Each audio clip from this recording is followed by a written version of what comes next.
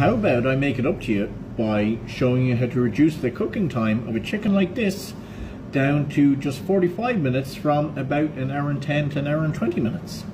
And it's really simple, you could even do it at home. So, all we're going to do is take the backbone out.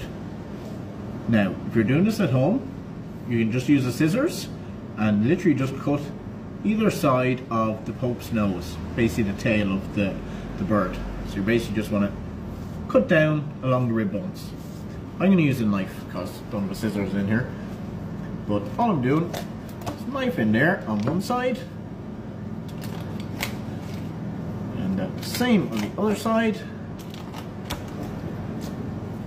Until we take said backbone out. And then pop your knife there and just give it a little bit of a cut there just to kind of butterfly it out.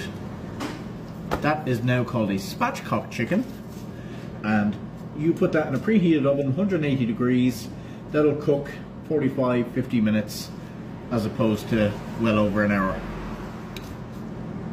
I do this a lot during the week when I'm looking for a quick meal pop it in go for a shower feed the dogs come back.